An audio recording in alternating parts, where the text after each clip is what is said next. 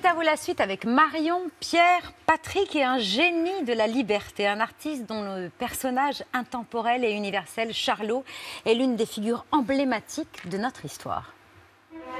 Pour le tournage de cette scène, l'accessoiriste fait appel à un confiseur. La chaussure est en réglisse. Le nombre de prises est tel qu'on doit en fournir 20 paires. Les vertus laxatives de la réglisse ne laisseront pas indemnes les boyaux des deux comédiens.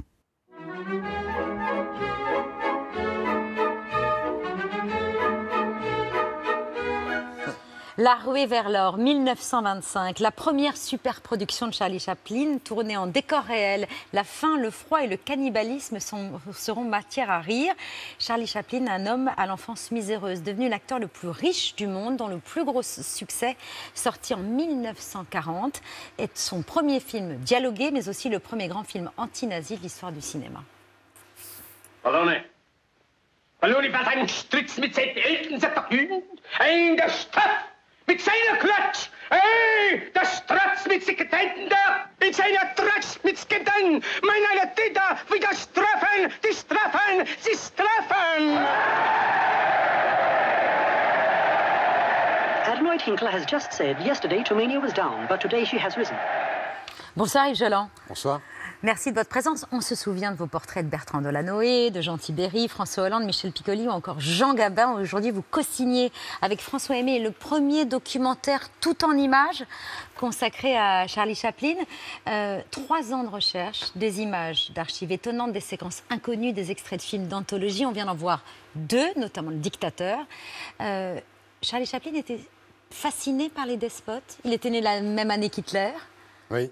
Il était fasciné par l'emprise qu'il avait sur les foules il était né la même année que Hitler, il était né euh, la même semaine même, euh, et il avait la même moustache, sauf que comme disait Chaplin, euh, je l'ai eu avant la moustache.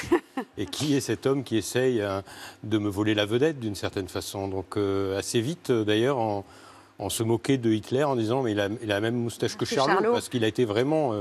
Chaplin, contrairement à Hitler, a été connu tout de suite. Dès 1915. Et effectivement, il y a une, euh, il a, enfin, il était fasciné aussi par euh, l'emprise que Hitler avait sur les masses. Et donc très vite, ça s'est transformé en, en, un duel prévisible.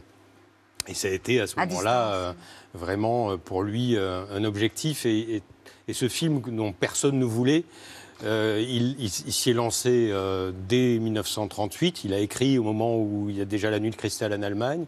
Et, après, c'est une course contre la montre. Personne n'en veut au début, et après, tout le monde l'attend. Il sait qu'il va être historique, ce film-là.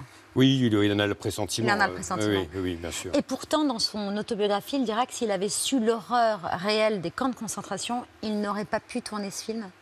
Oui, bien sûr, parce qu'il il aurait eu du mal à en rire. Mm. Et, et c'est vraiment, il a, écrit, après, j'ai fait ce film pour les juifs du monde. Donc, euh, c'est non seulement c'est un acte courageux, mais généralement, surtout à l'époque, on ne parle pas des juifs. En tout cas, on ne les nomme pas par leur nom. Là, le barbier, euh, qui est joué par Charlot, après on peut savoir si est-ce que Charlot est mort euh, pendant les temps modernes, ou est-ce que c'est encore Charlot pour le personnage du barbier juif. D'une certaine façon, c'est encore Charlot, mais Charlot ne peut pas parler.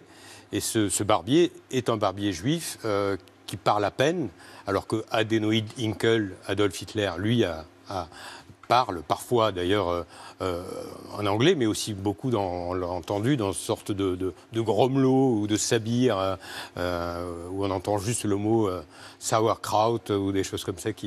Mais c'est vrai qu'il s'est toujours inventé, essayer de, contourner jusqu'au bout le fait de ne pas parler, et d'une certaine façon, avec le dictateur, euh, à la fin, d'ailleurs, le fameux discours final, c'est ni euh, le dictateur ni le barbier qui s'exprime, c'est Chaplin.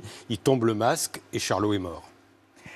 On peut dire que l'enfance de ce personnage immense de l'histoire du cinéma n'a pas été très gaie. Son père est alcoolique, il est, artiste, mais il meurt à 37 ans. Sa mère était pantomime, c'est d'elle qu'il apprend tout, mais elle sera atteinte de folie. Et le petit garçon est placé à 6 ans euh, à l'hospice. 6 ans, c'est l'âge du kid. Euh, il va aller de foyer en dispensaire, tout ça vous le racontez très bien dans, ce magnifique document. Euh, heureusement, il est plus, plus que débrouillard, il enchaîne tous les petits boulots, comme Charlot. Et il a 10 ans quand il est embauché dans une troupe et qu'il apprend les claquettes euh, on le voit là déjà. Euh, un jour, il est repéré par Fred Carnot, le roi de la pantomime anglaise. Il a 18 ans, c'est une rencontre décisive puisque la troupe l'emmènera aux États-Unis.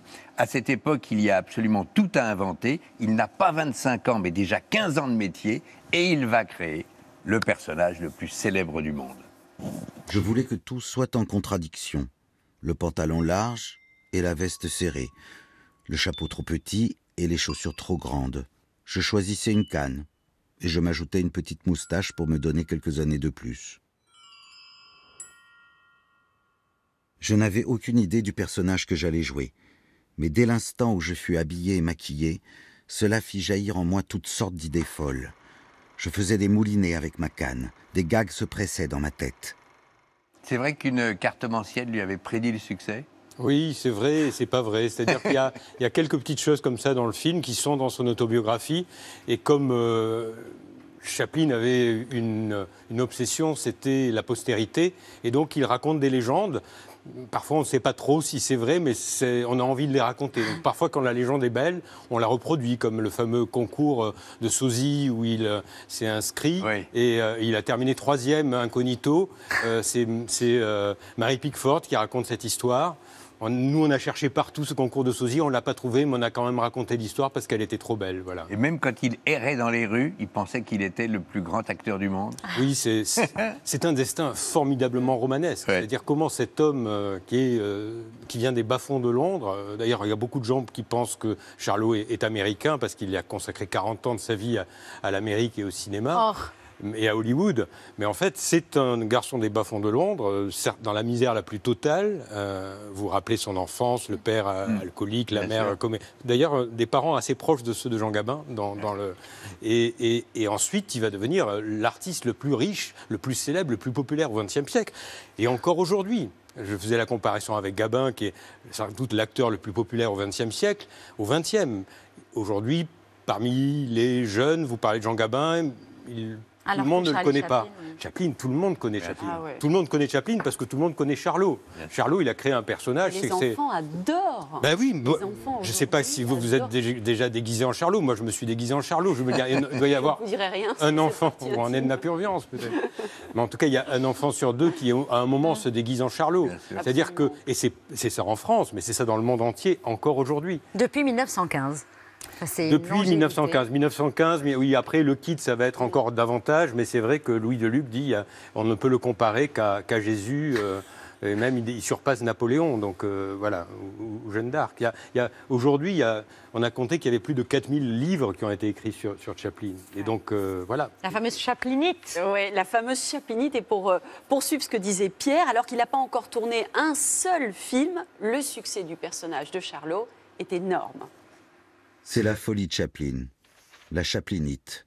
Charlot devient le héros de bandes dessinées, de dessins animés. Livres, vêtements, bougies, cigarettes, dentifrices veulent porter son nom. On fabrique des jouets, des poupées à son effigie. C'est un déferlement. Charlot envahit tout. Vous, le disiez tout à l'heure, il y a même des concours d'imitation. On va euh, peut-être en voir euh, quelques images euh, où il arrive troisième. Alors le revers de la médaille, c'est que Charlot est victime de contrefaçons. Oui, oui, oui. Il y a- On voit des faux Charlots. On a même décelé des, nouveaux. Oui, effectivement, il y a même un, un, euh, qui avait beaucoup de succès aux Folies Bergères, qui s'appelait Georges Picot. Il y en a qui changent un petit peu les noms et ils comprennent tout de suite. Donc il y a, il y a effectivement il y a, des- il y a les, les concours de sosie et puis il y a des gens qui essaient de s'engouffrer dans la brèche pour, euh, pour essayer de. de, de- de- Ah, c'était un concours de un sosie de Charlie Chaplin auquel il avait participé. Et, de- et- Et après, il y en a eu plusieurs. Auquel il aurait fini que l'on voit, c'est des artistes. Il y en a même un, celui qu'on voit actuellement, euh, et, et c'est Charlie. Voilà, je, Ah. je m'y perds moi-même. Et, et le, le précédent, c'est quelqu'un qui a, qui a même dit, c'est moi qui ai inventé Charlie. Ah oui. Et c'est peut-être pas Impossible. impossible qu'il ait, trouvé, que, parce que Chaplin avait l'art de l'observation, qu'il ait remarqué, mais en fait, euh, on a beau se déguiser en Charlot, on ne sera jamais Charlot. Donc euh, euh, ça suffit pas. La canne, euh, le, le- les moustaches, et le pantalon large, et les chaussures trop larges, et, le- et la veste étriquée. Donc il y a, il y a ce... ce- ce- bah, le génie, voilà. Enfin, pour une fois, on peut dire génie. Donc, euh, voilà. et le génie de la liberté, puisque c'est le titre de Oui. votre film, Chaplin politique. On a vu tout à l'heure, sans doute, euh, son film à la fois le plus politique et l'un des plus grands films politiques de l'histoire, Le Dictateur. Mais si on repart dans l'autre sens, premier film politique et première incursion politique, L'immigrant, Ouais. euh, qui, où on le voit. euh, Ouais. Il remet en scène ce qu'il a vécu, euh, euh, son arrivée euh, à New York. La guerre de 14, Chaplin euh, ne la fera pas, il est réformé, mais il va participer à la guerre en faisant des, des levées de fonds, euh, acheter les bons de la liberté, et puis on diffusait des charlots euh, aux soldats. Et puis il fait un film, Charlot Soldat, chronique de l'enfer des tranchées, film antimilitariste, dites-vous, mais patriote. Le vagabond immortalise le poilu. Une nouvelle fois, Charlot est du côté de ceux qui souffrent. Tout est là, la peur, le mal du pays, la boue, les inondations.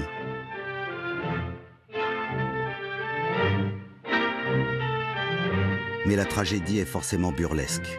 Le rire comme antidote au désespoir pour soutenir le moral des troupes.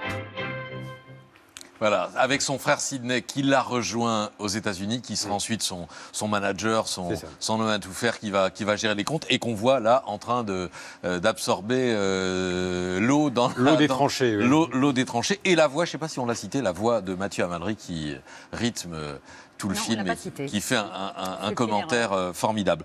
36, les temps modernes, il s'attaque au capitalisme et il invente des scènes, des images qui marquent à jamais les consciences. Pour incarner dans son nouveau film l'impitoyable patron de l'usine, Chaplin choisit un sosie du constructeur automobile Henry Ford, anticommuniste et antisémite notoire, qui interdit la présence des syndicats dans son entreprise et impose des cadences infernales.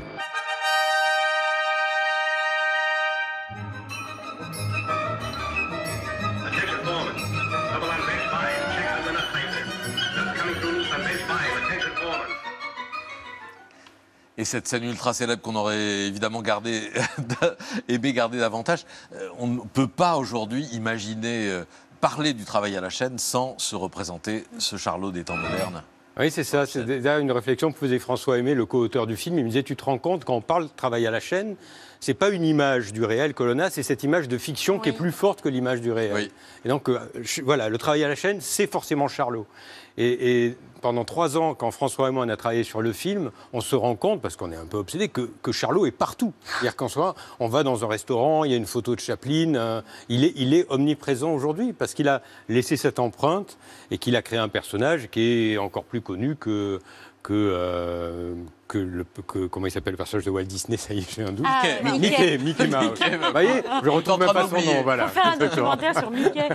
Et pourtant, c'est seulement à 72 ans, à 83 ans, au soir de sa vie, qu'il sera réinvité aux États-Unis. Ouais. Un visa de 10 jours, puisqu'il en avait été chassé. Hmm. Euh, il a fini ses jours en Suisse euh, aux côtés de ses huit enfants, chassé des États-Unis, espionné par le FBI pour euh, communisme, accusé de proxénétisme aggravé, obligé de payer une rente pour un enfant qui n'est pas le sien, etc. Il revient aux États-Unis à 83 ans, ovation aux Oscars.